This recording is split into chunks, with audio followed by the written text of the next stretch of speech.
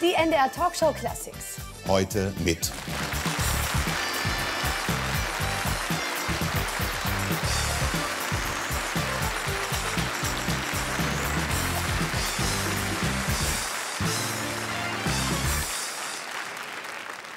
Wann werden Sie jähzornig? Ach, wenn Leute mh, Unfug reden oder, oder hinter dem Rücken, das mag ich überhaupt nicht. Also Unehrlichkeit, damit kann ich ganz schlecht Aber dann dürfen umgehen. Sie nicht bei einem Fernsehsender beschäftigt sein. Ich bin ja bei dem ZDF, dem Zentrum der Freude, da passiert das nicht. Das heißt Zentrum der Finsternis, wie wir alle wissen. Das gibt mir eine Gehaltserhöhung, oder? Beim Zentrum der Freude moderieren Sie die Nachrichten und das Morgenmagazin. Was wird denn aus dem Hund? Sie sind abends nicht da, Sie sind morgens nicht da. Der braucht doch eine Selbsthilfegruppe, um einigermaßen zu überleben. So, wir gehen. Nein, also Ja, das hat, funktioniert der sucht aber. Trost. Der sucht Trost. Ich, 1000 Euro können Sie haben. Mein Gott, das ist so. Ich meine, das, das ist nun Niemals, für Frau, die- kein Geld der Welt würde ich dieses Tier abgeben. Nein, aber ganz im Ernst, es ist natürlich, entweder habe ich am Morgen gearbeitet oder am Abend und äh, je nachdem, welche Sendung es war, kann ich sie mitnehmen. Und ansonsten gibt es, wie für Kinder, auch für Hunde mittlerweile Sitter, die kann man bezahlen und da ist sie dann wirklich in ganz guten Händen und ich kann entspannt arbeiten. Ohne dem würde es wirklich auch nicht funktionieren. Was ich bewundere ist, jetzt machen Sie das Morgenmagazin. Ja, ich weiß, andere müssen auch früh aufstehen und das hat auch meinen Respekt. Aber Sie müssen, andere dürfen misslaunig in der U-Bahn sitzen, nachdem sie früh aufgestanden sind. Aber Sie müssen ja da morgens kommen, um die Ecke biegen und sagen, hallo, das Wetter ist mal wieder schlecht und alles ist Das aber macht ja toll. Gott sei Dank Ben. Ja. Naja, was ist schwierig? Ich bin Heißt der tatsächlich eigentlich wirklich Wettervogel? Nein, Habe ich Sie gefragt? ich weiß es aber. Ich ärgere mich da immer drüber. Der heißt Benedikt Vogel. Und der Wettervogel ist von SWF 3 für ihn erfunden worden. Ich Ist schwöre. das so? Ich schwöre. Jetzt rede ich schon wieder auf, ne? Ja. So, so ein Aber ich bin Hals. schon wieder ruhig. So ein Hals. Ist ja nicht so schlimm, kreatives Köpfchen. Nein, Ja, aber es ist doch gut, dass wir es ist, äh, rausgefunden ja, haben. Nee, finde ich, bin Ihnen Ich wollte mich auch nicht einmischen. Nee, doch, Übrigens doch, eine finde ich Frage, die ich immer beantwortet haben wollte. Heißt der wirklich Wettervogel? Er Und heißt Benedikt Vogel. Benedikt Vogel. da hätte er ja auch Pilot werden können, sozusagen mit dem Namen. Ja. Was ist denn Ja. das? Wieso das Wo kam denn? das jetzt her? Was ist denn das für eine Assoziation? Ja. Frau Hayer, das wollen wir nicht vertiefen. Nicht vertiefen. Frau Hayer, was macht denn Ihr Biorhythmus? Hallo. Ja. Völlig abgelenkt. Ähm, ich ich habe eigentlich, glaube ich, gar keinen. Ich, äh, das, die Frage wird mir natürlich häufiger gestellt. Dankeschön.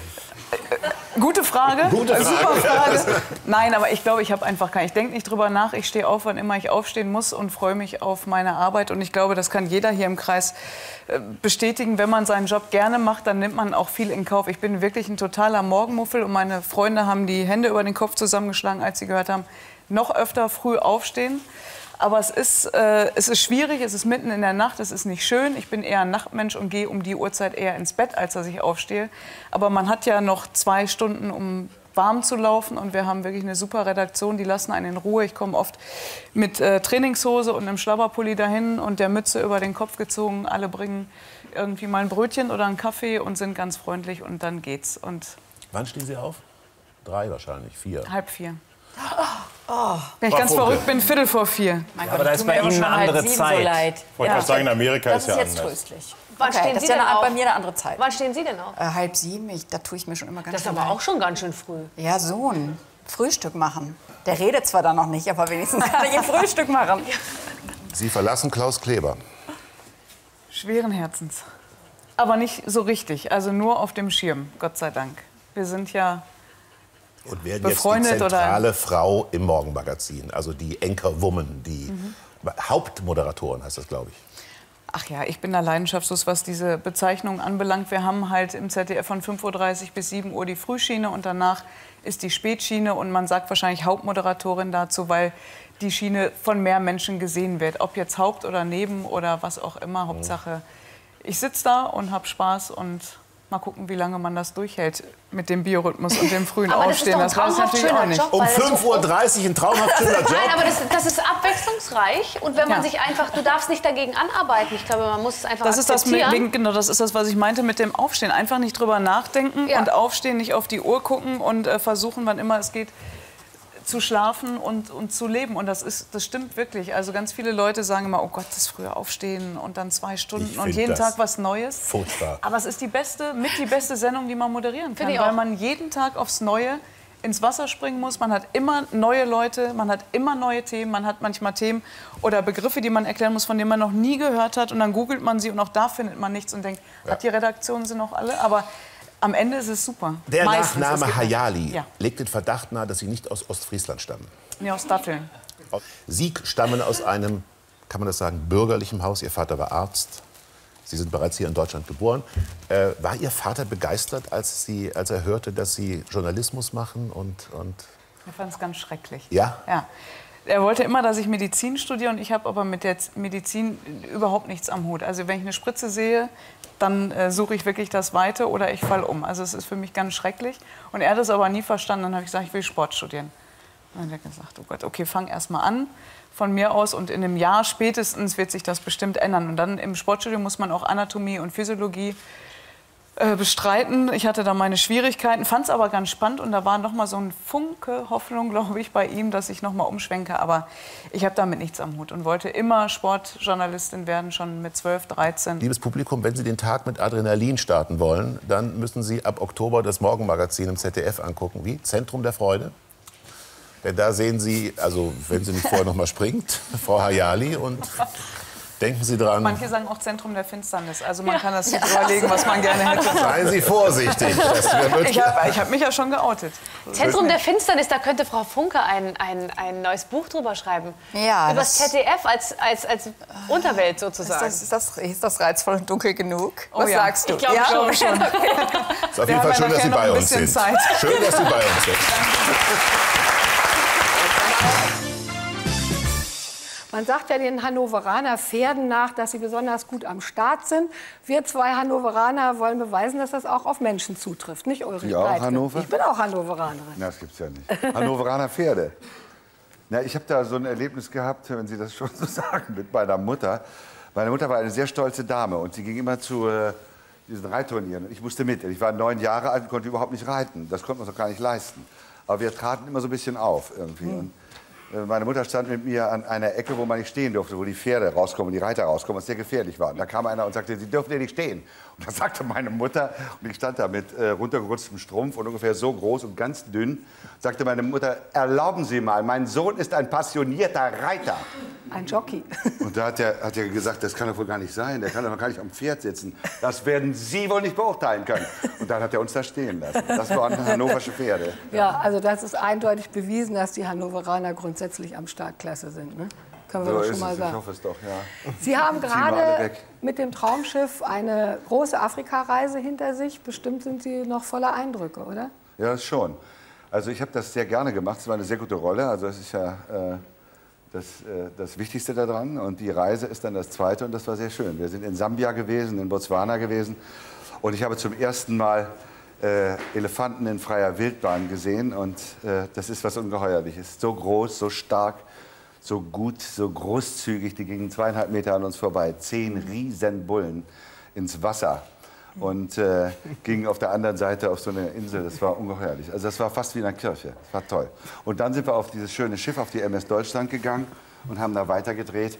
Und es gibt wirklich nichts Schöneres, als mit so einem großen, schönen Schiff auf dem Meer rumzufahren. Aber es war doch bestimmt nicht nur schön. Sie sind doch in Nein, Afrika auch auch ins. Land gegangen und man hat doch Ja, da und da bestimmt sieht man auch unseren, unseren äh, Zivilisationsmüll.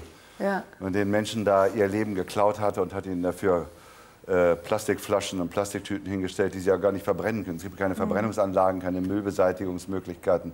Es ist traurig. Und es gibt eben eine Art von Armut, die Menschen äh, die Würde nimmt. Und es gibt eine Art von Mangel, das habe ich auch gesehen, der Menschen verhältnismäßig glücklich sein lässt, obwohl das sehr äh, merkwürdig klingt, wenn man sowas sagt. Aber es ist so. Ich sehe hier, wenn ich zurückkomme, Menschen, die sind so unzufrieden und haben wirklich alles.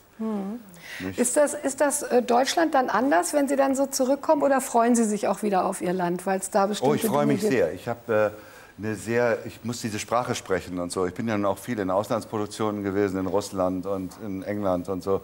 Und äh, ich merke, dass mir die Sprache immer sehr fehlt. Und dieser Hintergrund von Kultur, der hier herrscht, ist natürlich auch, wenn man in Australien ist oder Kanada oder so, wo es wunderbar ist. Die Landschaften hauen einen um, ob das Australien ist oder Kanada, wie gesagt. Äh, das ist toll. Und trotzdem habe ich immer Sehnsucht nach zu Hause. Also ich bin so ein Heimatfritze. Aber auch die Ordnung und sowas finden Sie auch nicht schlecht, ne? So ein bisschen. Ach, die Ordnung Äh, ist nicht das, wonach nee? mir so, ach, die So die Ordnung. Regeln und sowas. Müssen Sie die nicht haben? Ordnung habe ich in meinen Schränken auch nicht. Also die muss ich auch offiziell nicht immer haben. Ist das so? Nein, nein, Ein so die unordentlicher Pleitgen. Ja, vorher, sie- vor dem Schrank sieht es ganz toll aus. Und in dem Schrank ist. Äh, ja, nein, nein, an Ordnung Aber die bin ich so Frisur ist heute interessiert. sehr ordentlich.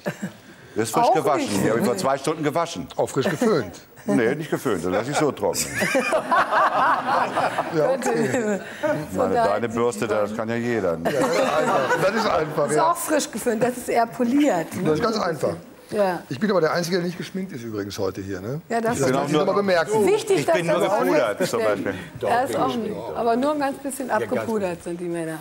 Sie haben sich schon immer sehr engagiert. Also Sie waren in der Friedensbewegung aktiv. Äh, ist davon heute noch was übrig geblieben? Also haben Sie das in die Ja, natürlich. Zeiten gerettet? Ich finde, jeder vernünftige Mensch sollte doch finden, dass die Welt nicht so eingerichtet ist, wie sie eingerichtet sein sollte. Das ist doch, das ist ja eine Binsenweisheit. Es ist schrecklich, sowas sagen zu müssen. Also, dass jeder nur auf seinen eigenen Haufen sozusagen. Verstehe. Das ist ja Wahnsinn. Also, das geht ja gar nicht. Man muss ja wieder solidarischer sein. Ich bin im Internat groß geworden, vielleicht kommt das daher. Ich war sieben Jahre im Internat und ich habe so äh, viel für das übrig, was man früher mal Kameradschaft nannte, was ein merkwürdiger Mhm. Begriff ist durch Militär und solche Sachen. Und nennen wir das mal Solidarität. Ich finde das schon sehr wichtig. Und ich äh, bin nun auch durch meinen Beruf, wie viele von uns, äh, äh, ja, in vielen Teilen der Welt, wo es wirklich äh, nicht toll zugeht. Und das äh, muss sich irgendwann mal ändern, sonst gibt es Kriege über Kriege wieder. Die Zuschauer kennen Sie alle von vielen, vielen tollen Rollen. Haus am See, äh, nicht von schlechten Eltern, Jenny und Co. Aber man vergisst immer dabei, dass so ein Vollblutschauspieler 20 Jahre lang auf den renommiertesten Bühnen Deutschlands gestanden hat und äh, hervorragende äh, Rollen gespielt hat. Sie haben sich dann aber entschieden, Fernsehen dem Theater vorzuziehen. Dabei sagt man doch immer so, beim Fernsehen werden die Rollen so eher festgelegt und der beliebigere Typ kommt besser durch. Was ist Ihnen da entgegengekommen beim Fernsehen? Also ich habe wirklich damit angefangen, weil ich äh, ein paar Mal konnte ich ja sowas machen. Wenn man so in, einer, in so einem großen Theater spielt, die engagieren einen ja nicht, damit sie einen immer zu, zum, äh, zum Filmen oder zum Fernsehen loslassen. Das ist ja, man kann ja so ein Ensemble auch nicht im Stich lassen. Also man durfte nicht. Irgendwie. Ich war lange bei Klaus Peimann, der ließ einfach überhaupt nichts zu auf dem Sektor. Und äh, ich habe aber ähm, durch, ich habe mal eine, einen Sechsteiler gemacht mit Klaus Emmerich, so eine ganz witzige politische, so eine Bonner Geschichte. Das war äh, ganz schöne, wilde Drehbücher von der Ecke Heidenreich geschrieben. Und da habe ich Blut geleckt. Also dieses nahe Spielen. Ich liebe dich nur mit den Augen sagen und nicht mehr über eine halbe Seite, wie man das im Theater muss, weil das ja in der 24. und 42. Reihe auch noch begriffen werden muss. Das ist eigentlich mal ganz einfach gesagt der Grund, warum ich damit angefangen habe. Es ist schön, mit der Haut zu spielen, mit den Augen und äh, so zu korrespondieren. Das ist einfach wunderbar. Aber und wirklich Anfang- was in sich entstehen zu lassen, was Menschen berührt. Also ich meine Augen, die sich plötzlich dunkel färben, zeigen, da geht irgendwas los, da kommt Blut in den Kopf oder Wut oder irgendwas. Und das sind so tolle Sachen. Also. Wut kommt doch gerne bei Ihnen den Kopf, ne? auch Na, außerhalb kommt, der Rollen, bin, oder? ich würd, äh, wenn Sie mich fragen würden, was, was würde ich anders machen, ich, ich würde gerne äh, gelassener auf vieles reagieren und nicht so gefühlsmäßig so stark. Ich würde lieber rationaler reagieren, wenn ich mir das wünschen könnte, aber das kann ich nicht. Aber Sie, Sie Warum? Es hassen auch raus, das ja. Wort Coolness. Ne? Sie, Sie mögen das auch nicht so. Ja, ich mag das nicht, aber rationaler würde ich mir schon ein bisschen wünschen für mich. Aber äh, dieses, äh, ja, Coolness ist ja cool, ist eigentlich auch was ganz Heißes. Ich glaube, ich habe das auch ein bisschen missverstanden. Ich mag dieses coole Getue nicht. Also aus dem schwarzen Jeep steigen mit einer Sonnenbrille, äh, äh, äh, Brille runter. Äh, Augen halt zu und geil gucken, das finde ich einfach blöde sowas. Ja. Das ist, ich nur mal was tun, ein bisschen mal das Maul aufreißen und, und sagen. Kreisrichter, was sagen Sie dazu? Aus dem Auto steigen, Brille, geil gucken. Wie finden Sie das? Ich Ich steige nicht so oft aus, ich fahre meist schnell. Aber, aber, Aber ich? Sonnenbrillen trage ich überhaupt nicht. Und Nee, cool, sagen nee, nee, also, Begriff Coolness. Wie, wie, wie interpre- interpretieren Sie den? ja, eigentlich so ganz ähnlich. Also mich interessiert das auch nicht. Ich komme aus einer Familie mit acht Kindern. Für mich sind Kinder der Mittelpunkt der Welt. Äh, Ich habe zwei, mit meinem Sohn wohne ich zusammen. Meine Tochter ist vorgestern zehn geworden. zehn Jahre alt. Und äh, im April werde ich wieder Vater. Äh, Ich fahre sehr gerne Auto. Ich finde das auch cool, im schnellen Auto zu fahren, aber ich finde das schnelle Fahren cool. Ja, Ja, nicht ich aus dem schnellen Auto auszusteigen. Ich würde es immer um drei Ecken parken, weil das sieht so scheiße aus, wenn man da aussteigt. Herr Pleitgen, was war denn so Ihr erster Auslöser? Stimmt das mit, äh, mit dem Truffaldini, dass, dass Sie da ähm, zuerst diese Rolle des Rüpels gespielt haben? Truffaldini, Truffaldini, no hieß er, ne? Wie hieß er nochmal, der Goldoni? Ach so, nee, das war so komisch. Ich bin ja auch so, so aus so bürgerlichen Verhältnissen. Ja. Und äh, äh, auch so wohl erzogen. Und meine Mutter sagte auch, hast du da einen Diener gemacht und solche Sachen. Weil, also, ich meine, Kenne ich auch, das kenne ich auch. Nur ja, das war, ich will meine Mutter nicht in die. Pfanne hauen, das war eine ganz prima Frau. Also, nur das war einfach so. Und dann wurde gekämpft um die langen Haare, die wurden geschnitten. Und in, irgendwann bräuchte ich mich dann und sagte, ja, dann wurden die wieder abgeschnitten. Und dann, ja, ich war so. Und plötzlich äh, fragten die mich, weil jemand krank geworden war in meinem etwas ziemlich kunstsinnigen Internat, ob ich das nicht über eine Rolle übernehmen wollte. Das fand ich unheimlich albern. Ja? Also, dann bin ich da hingegangen und war plötzlich ganz überrascht, wie schön das war, dass ich plötzlich einen unglaublich betrügerischen, äh, witzigen Typ spielen konnte. Äh, so war ich eigentlich nicht angelegt. Und da, das hat irgendwie so einen Auslöser gegeben. Und die Leute haben furchtbar gelacht. So ein ich Rüpel war das, ne? Ich war plötzlich auch in einer Art, äh, auf eine Art Mittelpunkt, wie ich das vorher nie gewesen war. Da haben Sie Blut ich konnte geleckt. plötzlich was, was andere nicht so konnten. Ja. Sonst war das immer so, ich war in Deutsch gut, aber alles, ich war sonst durchschnittlich. Im Sport auch andere, war ich so ganz gut. konnten. Aber sonst, Ja. und das konnten andere nicht. Herr Fleitgen, ähm, Sie haben schon von Ihrer Mutter erzählt, Sie sind ja als Einzelkind aufgewachsen bei Mutter und Großmutter. Was hatte denn die. Großmutter für einen Einfluss auf Sie? Ja, ganz groß. Meine Ja, so eine Großmutter Großmutter, äh, war ausgebildete Pianistin und eine sehr kunstsinnige Frau. Und wir machten das Licht aus und hörten Hörspiele. Also im Dunkeln. Also der haben Sie im Grunde ja auch dann diese Ader und Ja, und meine Mutter malte und so. Das war natürlich alles sehr dilettantisch. Ja. Und, aber es war so eine, so eine Atmosphäre. Und ich fand das ganz schön, dass es noch was anderes gab, außer Essen und Trinken und irgendwie zur Schule gehen. Und wie gesagt, wir machten das Licht aus und hörten Hörspiele und Musik. Und das war ganz schön. Nicht, dass ich davon irgendwas. Also es gibt ja Leute, die sagen, ich habe mit sechs Jahren schon Faust gelesen und so war alles gar nichts. Das war nicht ganz so bei Nein, das war nicht. Ich versuche die ganze Zeit Ihren Blick zu deuten, wenn Sie das jetzt so hören. Ich höre gerne Ja, zu. gut, das Schauspieler, ist der klar. guckt immer irgendwie. Ja. Dann nimmt sich vor, so zu gucken jetzt. Ich gucke jetzt ein bisschen Ich kritisch. denke mal so, Mensch, da gibt es noch ein paar Dinge, die weiß ich noch gar nicht von dem. Ne? Ne? Ja, das ist ja eigentlich auch der Sinn der Sache. ja. Schönen Dank, Herr Pleitgen. Bitte gern. Ich wollte eigentlich noch eine Frage stellen.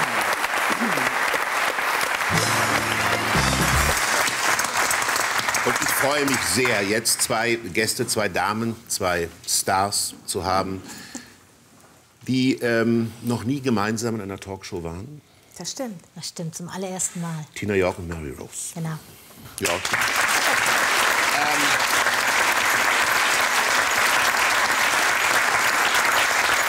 Ich will nicht noch mal das Thema jetzt äh, äh, intensivieren, dass Sie ja jahrelang, jahrelang in Bad Zwischenahn Urlaub gemacht haben.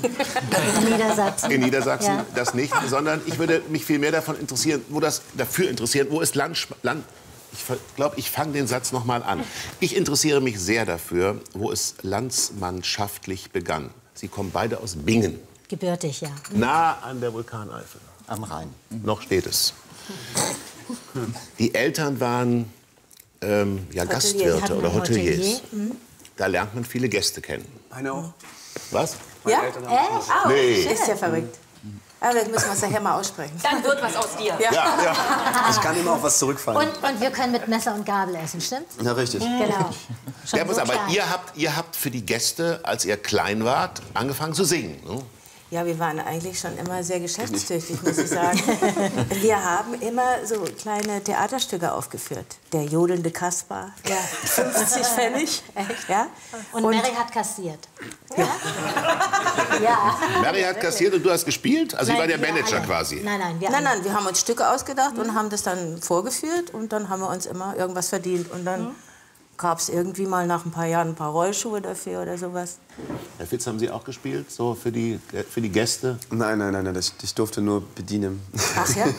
Ja, du, äh, wissen, äh, haben, also gewusst haben unsere Eltern Ja. das ja auch nicht. Nee, das haben wir heimlich Das haben wir gemacht. Das hätten wir heimlich gemacht. gedurft. Oh Gott. Und die Gäste heimlich angesprochen. Und Tina, und Tina war immer so klein, ja. Ja, und dann hat sie gesagt, haben gesagt, ja, wieso bist du denn so klein? Dann hat sie gesagt, ja, ich bin eine Lilliputanerin. Das fand Und ich hatte immer Angst. Ja, weil wenn, wenn ähm, die haben dann immer gesagt, ach, die ist so klein und so niedlich, die nehmen wir mit. Ach so. Da hatte ich immer Angst, ja. Ist, äh, Tina, ist so eine ältere, größere Schwester wie Mary nicht auch furchtbar nervend? Ja, klar. Ich habe Sie gefragt. Also wir sind ja zu Hause vier Geschwister und wir haben uns ganz schön gegenseitig genervt. Also da hat jetzt Mary keine Paradestellung. Ich habe sie garantiert genauso genervt wie sie mich. Und ich kann mich gut erinnern, wir waren mal in einem Zug, da waren wir noch sehr, sehr jung. Und ich habe Mary so voll gequasselt. Und dann hat sie gesagt, weißt du was, ich gehe jetzt in ein anderes Abteil. Haben gesagt, ja, komm, wir gehen. War das schon die Zeit, wo ihr beide bekannt wart? Nein. Also, Was ist das für eine jüngere Schwester für ein Gefühl? Die Mary ging ja ab durch die Decke, darf ich mal umgangssprachlich sagen, wie Schmitz Katze. Och, nö. also Ach, ich kenne doch. Mary ja noch... Ähm, Länger als du. Ja. Das bestätige ich gern, ja. Und Mary hat ja sehr früh angefangen, mit acht Jahren, ne? Hattest Das du deine- jetzt weglassen können, Wieso weil denn? jetzt rechnet jeder nach. Nein, nein. Und ähm, also ich war es gewohnt, dass Mary äh, ihr Leben lang gesungen hat. Also es war klar, Bühne und äh, äh, wir, wir hatten die Vorteile natürlich. Wir sind Mary dann in den großen Ferien hinterhergereist und wir haben zu einer Zeit Roy Black kennengelernt. Da waren die alle in der Klasse ganz neidisch. Und wir haben immer Hotelzimmer umgebaut. Ja, machen wir Ja, noch. Hotelzimmer fand ich furchtbar immer früher. Und dann haben wir gesagt, müssen wir umbauen. Wir machen es uns schön, haben wir immer gesagt. Ach so, ich dachte, umbauen ist jetzt so eine, ein anderes Wort für zerstören. So wie Nein, die echten. Rockstars, so, die dann mal einen Nein, Fernseher aus dem Fenster nein, geschmissen haben. Schöner, hübscher gemacht. Das war die Zeit, wo alle Sänger amerikanische Namen bekamen. Ne? Tina York, Roy Black, Jack White, Mary Rose. Ja, aber ich habe mich ein bisschen geweigert. Also ich habe wenigstens meinen Vornamen genommen, habe ihn wenigstens nur umgedreht. Ja. Ja. Ich dachte, ein bisschen was wollte ich schon behalten. Aber Was ja, es war war das? einfach so. In den 70er Jahren war das so. Wie, wie ist Tina York? Wie bist du in das Geschäft gekommen? Also, ich sage es ja, ich erzähle es immer genau so und Mary kriegt jedes Mal so einen dicken Hals, weil ich immer sage, ich bin bei der ersten Hochzeit von Mary entdeckt Ja, worden. ich hatte zweimal das Vergnügen. Aber mein erster Mann sitzt Der ist da. hier. Ja? Ich wollte nur sagen, es gibt auch Ehen, die sich trennen. Ja. Ja.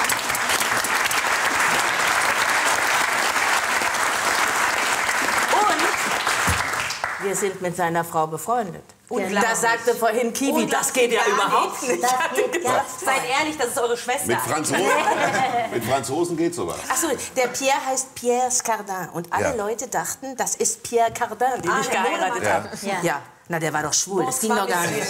Ja. Aber äh, das ist, war auch lustig. Dann Ja. dachte ich, oh, du hast ja jetzt einen tollen Mann und der hat ja Kohle. Und das war jetzt die erste und die Hochzeit. Ah, die erste und da, von zwei. Da hast du gesungen. Nein, nein. Da, äh, Mary hat geheiratet und ich war einfach, ähm, war tatsächlich eingeladen damals. und, äh, nein, nein, das war ein Spaß. schon und äh, da sah mich der, der Boss von der Plattenfirma, also heute kann man die ja nennen, die gibt es nicht mehr, die CBS. Und der sagte, sag mal, kannst du denn auch singen? Habe ich gesagt, ja, das, was die anderen können, kann ich auch. Und äh, ein halbes Jahr später hatte ich meine erste Platte auf dem Markt und ich ja, war ganz glücklich. Das war der Titel von den Tremolos, Me and My Life. Auf Deutsch, ne? Auf Deutsch Der natürlich. wie? Und der hieß Oh Mama Goodbye. Aber wie Das ist doch mal eine Übersetzung, deutsch, Leute, oder? oder? Wie ging der gleich? Äh, ich habe nicht mehr im Ohr. Ne?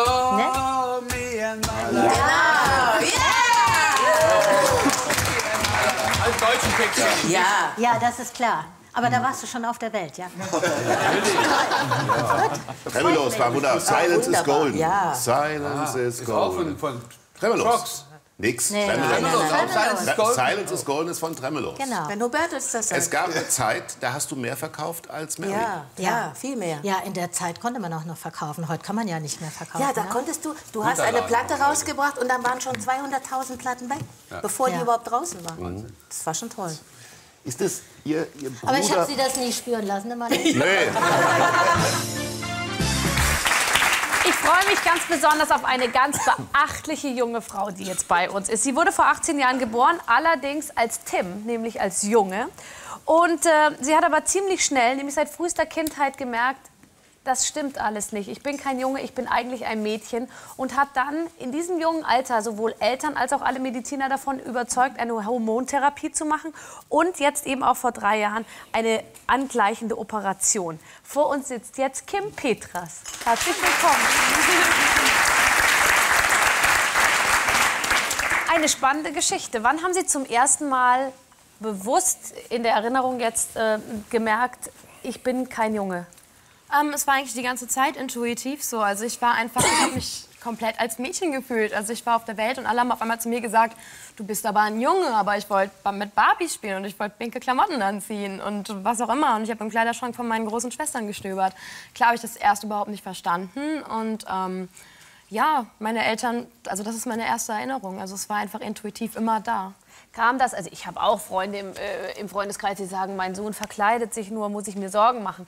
Aber das hatte ja bei Ihnen eine ganz andere Qualität. Ähm, ist es den Eltern aufgefallen? Ja, natürlich ist es meinen Eltern aufgefallen. Also ähm, ich meine, wie ich mich benommen habe, äh, wie ich mit meinen Schwestern gespielt habe, wie ich tanzen und singen toll fand. Das, das ist ja nicht ungewöhnlich, für Jungen auch nicht.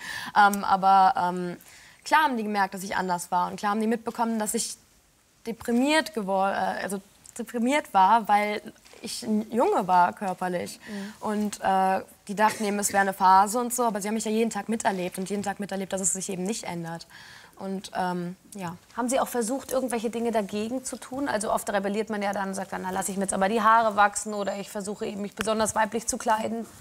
Also meine Eltern sind wirklich wirklich das Wichtigste für meine Eltern, auch für meine Geschwister, war immer, dass sie glücklich sind. Und meine Eltern wollten uns nie verändern und wir wollten, dass wir so sind, wie wir wirklich sind. Und das finde ich super wichtig, egal ob. Also meine Eltern haben mich nicht als Mann oder Frau gesehen, sondern als ich, als Kim. Und das ist einfach eine super Eigenschaft in meinen Eltern, wo ich auch ganz stolz bin, dass ich Eltern wie meine habe. Ja, also Wem, wem, wem, haben Sie sich als allererstes anvertraut mit Ihren, also als Sie diesen Gedanken oder dieses Gefühl formulieren konnten? Mit wem haben Sie als allererstes gesprochen? Mit meiner Mama. Mit der Mama? Genau, also ähm, ich war wirklich, das war total der schlechte Tag und so, weil ich wollte unbedingt mit dem Kleid in die Schule gehen und durfte ich eben nicht. Ich musste eben neutralere Sachen anziehen. Und am Abend habe ich dann eben im Bad geweint und... Ähm, Wie alt waren Sie? Fünf, sechs oder so und... Ähm, dann kam eben meine Mutter rein und hat mich eben gefragt, was los ist und so. Und ähm, ja, dann habe ich mit ihr geredet und dann hat sie mir eben erzählt, dass es was gibt, was man dagegen machen kann und dass sie das mit mir zusammen machen würde, wenn es immer noch so weitergeht bei mir. Und äh, ja, und das war auf jeden Fall total der Hoffnungsmoment für mich, weil meine Mutter mir gesagt hat, man kann, man kann was dagegen machen oder dafür, nicht mhm. dagegen. Ähm, haben, Sie, haben Sie noch so Erinnerungen an bestimmte Situationen als Kind, die man besonders schlimm fand? Also ich war zum Beispiel auch ein totales Mädchen, aber ich war auch ein Mädchen und ich wollte zum Beispiel, ich weiß noch, an Fasching war es für mich das Schlimmste, wenn ich, ich musste mal als Teufel verkleidet gehen. Das weiß ich noch, das war, ich wollte Balletttänzerin sein und ich musste als Teufel gehen. Da leide ich heute noch drunter. Also jetzt, mal, im übertragenen Sinne könnte ich mir vorstellen, dass Ihre Qualen äh, vermutlich damit nicht vergleichbar waren. Wann, erinnern Sie sich an? Also definitiv war es bei mir auch, war es bei mir waren es bei mir auch Klamotten, was erstmal total oberflächlich wirkt. Aber es ist ja immer ein Weg, sich selbst auszudrücken. Und als ich in die Schule gehen musste und eben keine Kleider anziehen durfte und mich nicht so benehmen durfte, wie ich wollte, weil die Leute dann irgendwas Komisches gesagt haben, meine Mitschüler. Das war eigentlich das Schlimmste in meiner Kindheit. Aber Kinder sind doch wirklich grausam in dem Alter. Also äh, Mitschüler, Freunde, äh, Schulkameraden. Ich kann mir das vorstellen, dass das ein, das muss ein Spießrutenlauf gewesen sein. Auf jeden Fall. Ähm, das, das, Seltsame war, dass ich wirklich schon in der Grundschule gute Freundinnen gefunden habe, äh, die zu mir gestanden haben. Und vor allem, was eben das Wichtigste für mich war, war, dass ich eben den Halt in meiner Familie hatte. Ich konnte nach Hause, ich konnte, musste in die Schule gehen, musste mich neutral anziehen. Okay, bin ich dann eben durchgegangen, bin ich nach Hause gekommen, habe ich mir direkt ein Kleid angezogen und durfte sein, wer ich war. Und das war für mich so total wichtig. Und dann waren mir die anderen Kinder auch total egal. Und die guten Freundinnen haben Sie als, als, als Kim behandelt, also als Mädchen? Genau. Und damals hießen Sie auch schon Kim? Nein, ich hieß Tim. Tim? Ja. Tim, aber, aber Mädchen ja. eigentlich. Tim war irgendwie Mädchen. Dann rollt ja so, ich sage mal, mit elf, zwölf Jahren langsam die Pubertät auf einen zu. Das ist für Mädchen auch schon schlimmer, aber für Jungen eigentlich ja noch viel tiefgreifender, weil dann wirklich sich körperliche Veränderungen vollziehen. Wie sind Sie damit umgegangen? Also ich habe mit neun und zehn angefangen, täglich Panik zu bekommen, dass jetzt irgendwas mit mir passiert und ähm, habe dann meine Eltern total gestresst und unter Druck gesetzt, dass sie endlich irgendwas machen. Und dann haben wir zwei Jahre Psychologen durchgeklappert, bis wir irgendwann welche gefunden haben, die mir nicht gesagt haben, ich bin eine komplette Irre. Und äh, ja. Was macht man mit so einem, Psycho also mit so einem Psychologen? Was, was, was, wie, wie sieht das aus? Macht man Gesprächsstunden? Also mit den, schlechten, Tests machen, mit den schlechten macht man dann irgendwelche komischen Tests, von wegen siehst du Geister in der Nacht und sowas. Aber mit den guten redest du eben ganz normal und äh, verhältst dich so, wie du dich normal verhältst. Und dann sagen die vollkommen klar, du verhältst dich total wie ein Mädchen. Das einzige Unnatürliche an dir ist, dass du so natürlich bist. Und das hat einer Wort für Wort zu mir gesagt. Also, ja. Und da gab es nie, nie, nie einen Zweifel dran? Nö. Und wenn einer Zweifel geäußert hat, dann... Haben wir uns über den Fragebogen lustig gemacht. Aber immer mit den Eltern zusammen? Ja, auf jeden Fall. Die waren immer mit dabei? Wir haben uns im Vorgespräch in äh, deine, ihre Eltern versetzt und haben uns überlegt, diese Verantwortung ist doch immens. Man begleitet die geliebte Tochter oder den geliebten Sohn damals in so eine, in so eine Phase. Äh, die Angst bei mir als Vater wäre doch, dass irgendwann die Frage käme, mein Gott, warum habt ihr das damals gemacht? 10, 15 Jahre später sehe ich das ganz anders. Ähm, also, ich Das war mein, nicht der Fall. Bei, bei, nee, bei mir, ich meine, ich, ich bin einfach so, wie ich bin. Und meine Eltern sind jetzt total froh. Also ich meine, sie haben dazu beigetragen, dass ich ich selbst sein kann. Und das ist ein Riesengeschenk von meinen Eltern. Und deswegen werden sie sich, glaube ich, nie denken, hätte ich was anders gemacht. Die haben es perfekt gemacht, meine Eltern. Ohne die Eltern hätten sie es ja eigentlich auch wirklich nicht machen können, weil sie haben zum Beispiel eine Hormontherapie gemacht mit zwölf. Ich könnte mir vorstellen, dass das umstritten ist. Auf jeden Fall, aber ich habe eben Psychologen überzeugt. Ich habe Gutachten dafür bekommen. Meine Eltern waren dabei. Es ist vollkommen legal war es dann. Was ist das Erste, was man, also was man merkt, wenn man solche, solche Hormone isst als, als, als Mann? Oder als Junge? Man merkt eigentlich schon nichts, was jetzt irgendwie. Also ich bin immer noch genauso im Kopf wie vorher. Ja. Nur eben der Körper verändert sich eben ein kleines bisschen. Und äh, das ist eigentlich okay. Manchmal ist man ein bisschen zickiger, aber. Ja, okay. Das wird auch noch schlimmer im Laufe der Zeit, kann ich, äh, kann ich sagen. Ähm, wie, wie, wie, sind die, wie ist das Umfeld heute? Also wie sind Freunde und Freundinnen organisiert? Hat sich das in irgendeiner Form verändert? Ähm, also ein paar Freunde von früher habe ich natürlich nicht mehr, aber meine Freunde wissen alle von meiner Situation. Meine Freunde unterstützen mich, sehen mich komplett als Mädchen. Ähm, ich habe ein bisschen besondere Freunde. Also viele von meinen Freunden sind schwul oder lesbisch oder was auch immer. Und ähm, ich bin eben einfach für Gleichberechtigung, egal ob Sexualität oder Religion oder Frau oder Mann. Und das ist einfach so, wo, wohinter ich stehe. Und ähm, Was du auch lebst oder gelebt Genau. Ich könnte mir vorstellen, dass du mit deinen Lebenserfahrungen ja auch vielleicht schon ein bisschen etwas reifer aufs Leben blickst als so andere 18-Jährige. Ich weiß es nicht. Also teilweise bin ich immer noch genauso dämlich wie ich, wie, ich, wie jeder andere 18-Jährige. Also ich sehe da jetzt nicht unbedingt, dass ich reifer bin, aber ich habe eben eine Riesenerfahrung mehr. Und ich glaube, ich kann mich einfach, ich weiß einfach, dass ich ich bin. Und das ist, glaube ich, schon gut. Was ist denn Ihr Traum beruflich? Mein Traum, ähm, ich, ich, ich äh, bin Musikerin, ich schreibe Songs und äh, ich habe ein ganz tolles Team gefunden, mit dem ich eine jetzt EP aufgenommen habe. Und, äh, Was ist eine EP? eine EP ist ein Mini-Album. Verstehe. Vier Songs, vier kann ich Songs, dir sagen. Genau, vier Songs, ab heute im Netz runterzuladen. Genau, digitaler Download. Ja, ich bin total stolz und ja. Du bist aber auch äh, nun, muss man wirklich sagen, schon weltweit bekannt, weil du natürlich mit deiner Geschichte, glaube ich, schon in vielen ähm, Sendungen auf der ganzen Welt warst ähm, und dann auch äh, immer äh, gesungen hast oder von deinem Gesang erzählt hast. Und dadurch gibt es eigentlich Fans von Amerika bis Japan. Genau, also mit meiner Musik, das ist im Internet eben super viele Klicks und super viele Leute interessieren sich dafür. Nur eben die wenigsten davon aus Deutschland. Also äh, in Spanien habe ich in der Show gesungen, ich war in England, in Amerika und aus irgendeinem Grund Du kannst war ich hier auch in gerne China singen. im Du Fernsehen. Kai, gib doch mal eine Na, das Kosten. wird sich- Also das, Das wird sich ab heute ändern. Ab heute haben wir auch, ab heute haben wir auch hier Fans in Deutschland. Uh, yes. Darf ich noch eine äh, Sache äh, fragen, die mich interessiert? So eine Geschichte ist ja nicht leicht zu erzählen. Also bei dir, du machst es einem leicht. Also ich hatte auch gedacht, oh Gott, man weiß nicht, wie man das so befragen soll und ob, ob das dann irgendwie unangenehm wird äh, für Sie. Aber ähm, wann haben Sie sich entschlossen, damit wirklich ähm, auch der Presse gegenüber offen zu sein oder überhaupt mit der Presse äh, zu reden darüber? Weil das sind ja auch manchmal Geschichten, wo man sagt, oh, das würde ich vielleicht für mich behalten oder Ich war das mit, mit zwölf war ich das erste Mal im Fernsehen mit der Geschichte. Und zwar kommt es einem auf jeden Fall komisch vor, wenn man so hört, mit zwölf damit im Fernsehen. So, ähm, aber mein Gedanke war einfach, ich habe einfach ich habe dann auch recherchiert und ich habe auch geguckt, wie geht es anderen Leuten. Und dann habe ich festgestellt, es geht den anderen Leuten nicht gut. Und meine Situation ist super gelaufen. Ich habe ein Riesenglück, jetzt schon sogar mit zwölf, dass ich die Hormone bekommen habe. Und andere Leute, die viel älter sind, haben es immer noch nicht geschafft. Und deswegen bin ich einfach so ein riesen Hoffnungspunkt für andere Leute in dieser Situation, weil sie sich einfach sagen können, die hat es geschafft, ich kann es auch schaffen. Und äh, das war mir einfach schon wichtig, weil ich auch ganz, ja, das mitbekommen habe. Also es ging darum, Vorbild auch zu sein. Gibt es Resonanzen auch von anderen, die anderen Leuten Hoffnung zu geben? Und gibt es Resonanzen von, von, von auch Betroffenen? Von? Von Betroffenen, von anderen Mädchen und anderen Jungs? Gibt es Resonanz? Auf jeden Fall, ich krieg, ich krieg ganz viele Nachrichten, ganz viel, äh, na ja, Post und alles Mögliche von Leuten, die mich bewundern oder denen ich Hoffnung geben. Ach, wunderbar. Ich freue mich und ich wünsche ganz viel Erfolg. Danke. Kim Petras. Unser nächster Gast ist der Traum in Zeiten knapper werdender Kassen. Der Traum eines jeden Programmdirektors, weil sie kaufen ihn ein und haben. Sie haben Hugo Egon Balder, Sie haben Oliver Geissen, Sie haben Kai Pflaume, Sie haben Markus Lanz, äh, Sie haben Lafer, Sie haben Melzer, Sie haben Bohlen, Sie haben Raab und das zum Preis von Max Giermann. Aber der ist hoch. Aber der ist hoch.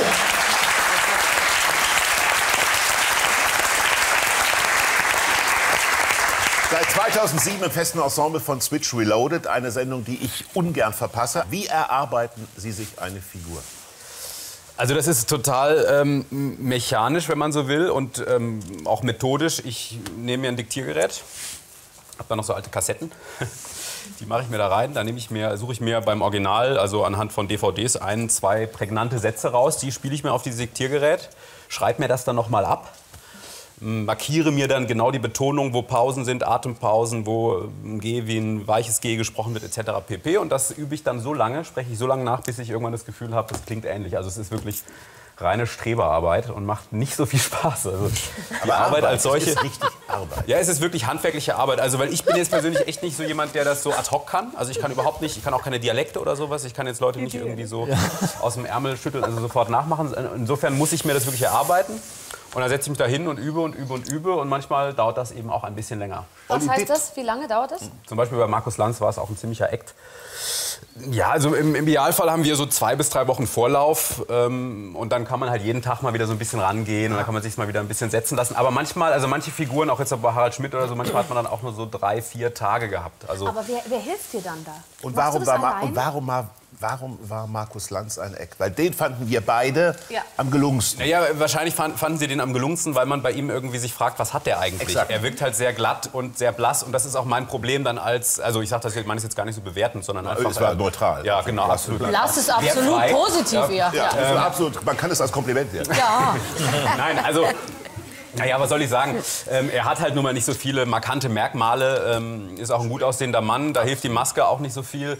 Und da muss man halt viel genauer hinschauen und ähm, muss sich dann halt an so kleinen Sachen festhalten. Und ähm, da ist man natürlich dann heilfroh, wenn man irgendwie mal was findet. Das ist dann wirklich. Aber Barbara wollte wissen, wer hilft Ihnen? Niemand. Also im Prinzip ist es so, wir kommen bei Switch oder auch bei den anderen Sachen kommen wir ähm, ans Set mit der Rolle und dann legt man los. Man macht eine Probe, dann wird gedreht. Meistens Echt? Und vielleicht ist er gar nicht gut dann. Ja, dann, hab, dann ist mein Problem. Wie war die Ach so, ich hab grad Zusammenarbeit mit dem Altmeister Walkes? Walkes. Otto. Ich dachte schon, ich werde hier als Markus Lanz. Ähm, ähm, darüber werden wir gleich noch zu reden haben. Ähm,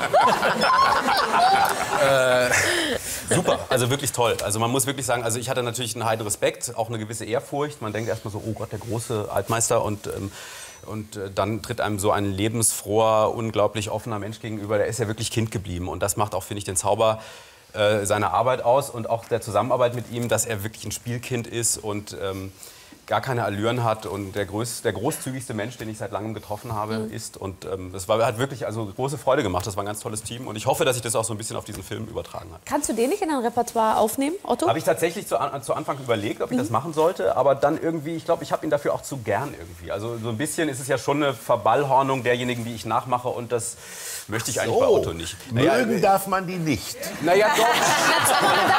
Nicht zu nah. Hallo! Aber nicht zu nah darf man ihnen sein, wahrscheinlich. Eine Frage nach der anderen. ähm, nein, also ähm, es hilft natürlich, wenn man sie nicht mag. Äh, das hilft. Also wenn, natürlich, ich muss mir die ja stundenlang reinziehen und irgendwie, wenn ich eine Motivation, also du hast ja die Motivation, ans Reck zu gehen jeden Tag, die fehlt mir manchmal. Ich muss ja auch hart für arbeiten und dann hilft es manchmal, wenn ich denke, so dem kann ich jetzt endlich mal eine reingeben. Aber das ist ja eigentlich auch nicht mein, mein Ziel und das ist auch nicht meine Motivation. Ähm, es hilft, aber es hilft auch genauso, wenn man die gut findet. Also viele meiner Parodien würde ich als Hommage auch irgendwo bezeichnen. Nur bei. Otto, da traue ich mich das nicht, weil ich ihn einfach Welche war eine Hommage? Äh, welche war jetzt, welche war es denn Ja. jetzt? Die Frage war, welche war eine Hommage? Jetzt muss ich War mich irgendwie- Liebeserklärung? Nein, also äh, eine meiner allerersten war Tim Melzer. Und da muss ich sagen, ich habe von Tim wirklich total viel, also ich habe von ihm eigentlich kochen gelernt, weil ich habe tatsächlich früher immer diese Sendung Schmeckt nicht, gibt's nicht geguckt. Ähm, Hallo, ich bin Tim Melzer und ich zeige Ihnen, wie viel Fantasie und wenig Zutaten tolle Sachen kochen kann. Ähm, so ging die immer los.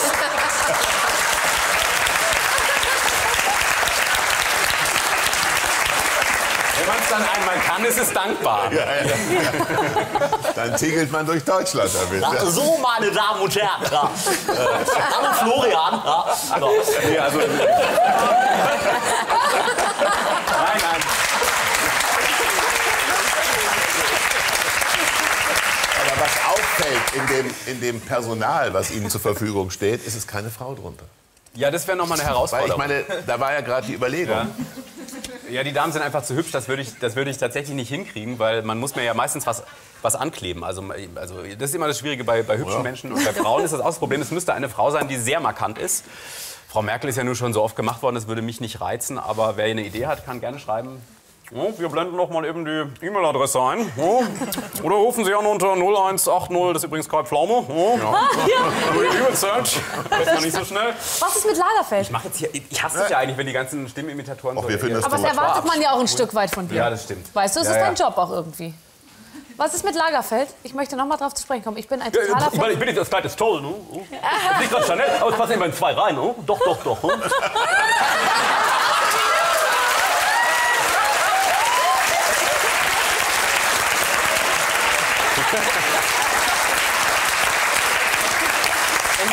Also, Soll ich? Ja. ähm, also pass mal auf, ja. Ähm, also deine Performance eben, ja. Also die war echt hammermäßig. Und eine Sache noch zu deinem Outfit, ja. Also die Frisur hatte ich in den 80ern auch da. Aber bei dir sieht das echt viel geiler aus als bei mir, du. Hammermäßig, ja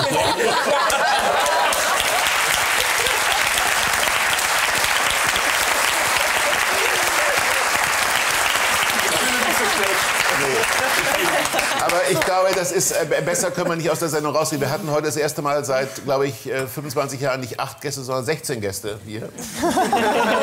Das wollen wir die jetzt letzten, jedes Mal und die letzten so acht waren alle quasi fast, fast gratis. Also insofern. Ohne Aufforderung. Ohne, ohne, ohne Aufforderung. Also ich danke Ihnen. Das war wunderbar.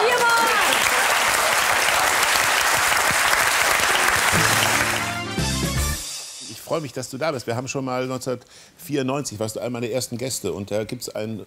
Wir haben uns beide nicht In verirrt. Blond, wa? Wir haben uns beide nicht verirrt. Wir gucken mal rein. Das ist. Ähm, wir machen mal Der. Traum eines, jeden, Traum eines jeden Moderators wird wahr. Nina Hagen ist da, man weiß nie, was passiert. Weiß man in der Sendung sowieso nicht. Das kommt immer auf den? Moderaten drauf. Ja, da wollen wir mal gucken, was wir hier machen, ne? Und weg ist es. Also, Toll. wir haben. Äh,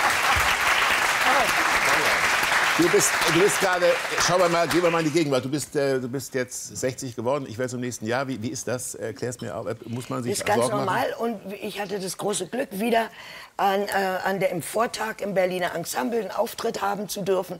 Und wir hatten ein tolles Publikum und wir haben wie unser Brecht-Programm, Brecht und Many, Many More, äh, gemacht. Und so bin ich in den 16. reingearbeitet, mich reingearbeitet. Also es war keine- Ich war arbeite immer gern an Geburtstagen. Ich Ja. möchte gerne einen Austausch haben und nicht nur da so sitzen und be be be ja beglückwünscht we- äh, zu werden, dass die Mutter es geschafft hat, einen auf die Welt zu bringen. Ist ich finde das mit dem ne? Geburtstagen immer ein bisschen too much der, der Ehre, you know. It's eigentlich, äh, müsste eigentlich Muttertag heißen, wa? Ja, bist du nicht, Labour bist du nicht, bist du nicht 50? Labour Kann es sein? Kann es sein, dass du Also, 50 also noch mal dass du- Nummern. Ja, nee, oder auch nicht. 40. Es sind doch nur Ja, Nummern. 40. Diese ganzen Jahreszahlen sind nur Nummern. Und ich, I repeat, we are just 50 visiting this planet for a ve- quite short For a time. very short time. So let's make the best of it. Meine Oma hat immer gesagt, das Leben ist kurz, auch wenn es lang ist. Ja, ja, sagen. die hat ja so recht. Aber Guido, wie ist das mit dir? Du warst, du hast, ich hab, du bist 50. Das war für dich auch ein harter Schlag, oder? Nee, Ich bin ja in guter Gesellschaft, weil es sind ja äh, so viele 50 dieses Jahr geworden. Ich glaube, das halbe Land ist 50 geworden. ich Ja. das Gefühl. Schau dich, Nata- schau, sie ist 40. Nee, aber ganz viele sind 50 und es war, ich muss sagen, es hat mich irgendwie, ich habe vorhin schon mal nachgedacht und jetzt, als ich dann 50 war, kriegst du ganz viele Mails und Leute schreiben dir so und schicken dir Sachen und da dachte ich, das ist schon weird, ich habe wirklich nicht drüber nachgedacht. Jetzt ist mein Frank aber auch 60 geworden, deswegen dachte ich, das ist noch viel Ich finde das so wilder. verdächtig, wenn man gefragt wird, jetzt sind Sie 50 oder 60 oder 40 geworden. Wie bist du eigentlich, deswegen eine völlig andere Frage ist in diesem Moment vorbei. Wie bist du eigentlich zum Punk gekommen? Ich habe mich das immer gefragt damals in der DDR. Wenn du heute als Godmother des Punk, Ähm, das uns mal erzählst. bin- Wie ist das passiert? Also 76 im Dezember aus der DDR raus. Ja, aber vorher warst du ja schon. Nö, ich war Roxy Music Ja. Fan, ich war Hippie, ich war Beatles Fan, äh, gro großer Rock Fan. Äh, Am Anfang auch mal im klassischen Sinne Schlagersängerin. Nein, das habe ich nur, da, da war ich nur auf ja einer ein Schule, Schatz. wo viele Schlagersänger auch äh, studiert haben, also Gesang und Entertainment und so weiter. Ich Ich war habe auf dich einer Entertainment ich war, ich war, ich habe dich gesehen in Ich- einem DDR. Du, du hast den Farbfilm vergessen, lieber Hans. Right, aber das ist mit einer. Ja, Rockband aufgenommen worden. Ja. Wir hießen Automobil Ja. und, und wir haben Rockmusik gemacht. Und der Farbfilm, das sollte eine Schlagerverscheißerung sein, sozusagen. ja auch so rüber. Ja, und ich hatte aber viele Freunde unter den Schlagersängern, obwohl die mir auch während der Studienzeit Albträume bereitet haben. Weil ich habe das immer so ein bisschen als ähm, Volksverdummungsindustrie empfunden, die ganze Schlagermuck. Ist ja auch ein bisschen intellektuell un, unanspruchsvoll. Aber wo war, wer, wer, weil du sagtest, da gab es auch Freunde. Welche, welche Schlagersänger? Na, der Eggehard Göbel, und wie sie Göbel. alle heißen. Und der Frank Achim Schöbel. Menzel. Frank Schöbel war da auch Der mal. Frank Achim Schöbel. Menzel war hier auch mal. Der Achim genau. Menzel, Achim Menzel, mit dem war ich zusammen beim Alfons Wonneberg Orchester und bei Fritzens Dampferband. Und, und wir hatten ganz viel Spaß auf Tour. Wir haben die ganze DDR von oben bis unten, Norden, Süden, Südosten, Südwesten. Jedes Dörfchen haben wir bemuckt. Und zwar Bemückt? Von, ja, von Ja. Mittwoch bis Sonntag und von äh, Montag bis ähm, Dienstag, also Mittwoch war frei und dann ging es wieder los. Und, Und ich habe, ich habe Schlager gemacht, auch kommerziell, Kommerz. Ich habe allen meinen Jazzfreunden und Rocksängerinnen gesagt, wisst ihr was, solange ich noch in der DDR bin, mache ich Kommerzmucke. Weil ich möchte gerne versuchen, damit über die Grenze zu kommen. Denn meine, meine kommerziellen Kollegen, die in den Orchestern gespielt Ja. haben und so weiter, Achim Menzel, ähm, die sind ja oft in Westberlin Klar. zur Mucke gefahren. Und, Ach, Achim durfte schon mal rüber. und Achim ist dann auch in Westen abgehauen, ist aber reumütig wieder zurückgekehrt. Das fand die DDR auch ganz toll, dass es sowas gab. Und ich bin ja Ist auch aber mal auch nur abgehauen. einmal vorgekommen, Ich glaub bin ich. ja auch mal abgehauen mit 16 nach Polen und wollte von dort aus weiter äh, Hat aber in den geklappt, Westen. ne? Wolltest dann Und weiter hat nach nicht geklappt, Frankreich. bin auch wieder reumütig zurück. Und, und Wolf Aber- hat mich dann begleitet zum Stasi-Verhör. Ja, lass uns doch Zu mal- dieser Zeit kam Erich Honecker an die Macht und hat eine kleine Amnestie ausgesprochen für alle kleinen Verbrecher. Bereits mit deinem ersten LSD-Trip bist du bei Gott angekommen. Natürlich, das steht ja alles in meiner Autobiografie geschrieben. Ich habe mich äh, ähm, erst sehr spät taufen lassen mit, Ja. mit kleinen Babys zusammen. Ja. Mit 54. Campino, wann, wann bist du das erste Mal auf Nina aufmerksam geworden? Weil die Äh, ja, das war so um äh, 78 rum, Nina Hagen Band. Ähm, ich Glotz TV war natürlich von den Tubes, die wir auch mochten, eine sagenhafte Adaption. Sensationell. Und äh, wer kann schon von sich behaupten, dass er ein englisches Lied auf Deutsch noch verbessert hätte? Ja, das stimmt.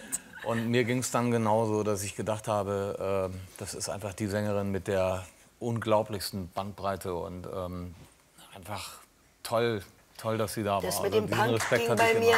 Ja. Aber das war eben immer, ich, ich interessiere mich ganz kurz, Äh, Guido, lief, lief bei dir zu Hause irgendeine Version von Nina von Ich weiß, es wird einmal ein Wunder geschehen? War das eine Musik? Bei meinen Eltern oder was? Na, bei dir auch zu Hause. Gab's, ja, ja, ja, das, äh, ja, ja, ja, ja, klar, natürlich. Alle Leute waren total scharf auf Nina. Und ich habe gerade gesagt, ich war ja sogar auf deiner Hochzeit in Ibiza, weil das war das erste Jahr, als ich in Ibiza lebte, in San Carlos. Und da hat eine Freundin gesagt, ich nehme dich mit auf eine Hochzeitsparty. Und da bin ich dahin und dann, da war Da ich. sind wir uns ja dann auch begegnet. Ja, genau. Ja, ja. Und das war, äh, und ich habe das sehr geliebt. Also ich hatte eine Freundin, die ist durchgedreht damals. Die hat alles Nina Hagen. Das war ja auch, ich meine, meine Zeit. Das darf man ja nicht Das mit dem es Punk ging ja 1977 in London los, auch für mich. Zum, da war ich dann zum ersten Mal in meinem Leben dort und habe dort die Slits kennengelernt und auch die Sex Pistols. Und ich wurde die beste Freundin von Ariane von den Slits, die, die wunderbare, freche Sängerin des, der ganz, ähm, die Slits waren eine Mädchenband, nur ahnte es. Mädchen. Mhm. Und, und ich war die Stubenälteste, ich war schon Mitte 20 und die waren alle Mitte 19 Dingsbum. Da, deswegen nennen die mich Mutter des Punk. Weil ich selbst habe den Punk weder erfunden noch äh, selbst ähm, Aber du hast ihn entwickelt. begleitet. Du hast ihn ich, begleitet. Ich habe äh, ich hab jüngere Kolleginnen sozusagen beschützt. Und wie neulich da in so einer Jury ich auch mal versucht habe, Begleitet. Äh, Popstars zu helfen, Mut äh, zu haben, wenn sie schon auf der Bühne gehen und so weiter. Das habe ich in London gemacht. Deswegen nennen die mich wahrscheinlich Mother of. Aber so Punk so. war für dich eine Befreiung. Eine, würdest du das gelten lassen? Eine, ein Weg zu dir selbst? Ja, stimmt es? Oder ist das ein falsches Etikett? Ja, ich, ich, nee, ja, das stimmt so nicht, weil ich bin ja ein alter Hippie, Mhm. face it. Und, ähm, und auch in der Zeit, wo wir Roxy Music Fans waren, wir haben uns damals in der DDR schon den Mund schwarz gemalt und die Haare mit Gel. Also das mehr Roxy ging nicht.